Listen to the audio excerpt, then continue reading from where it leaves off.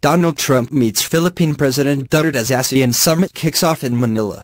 U.S. President Trump has said he has a great relationship with Philippine President Rodrigo Duterte as the two met at a regional summit in Manila.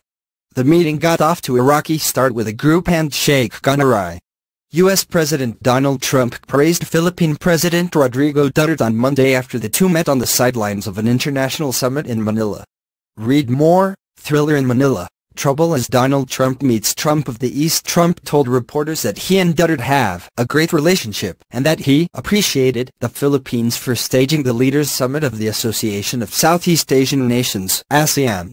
The White House and Duterte spokesman gave conflicting accounts on whether the two discussed human rights issues in the meeting.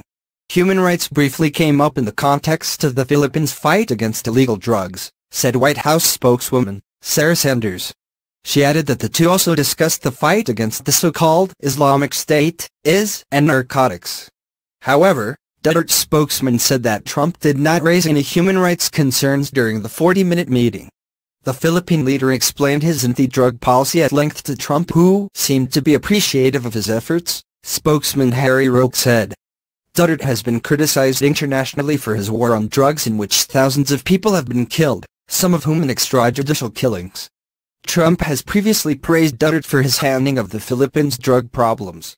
The opening ceremonies for the ASEAN conference began with elaborate pageantry featuring the leaders of 10-member association.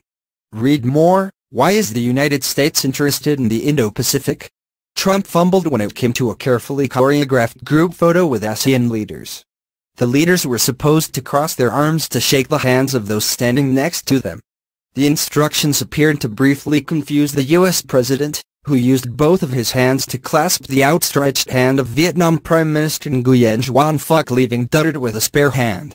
Trump then laughed when he realized his error, grimacing as he reached to shake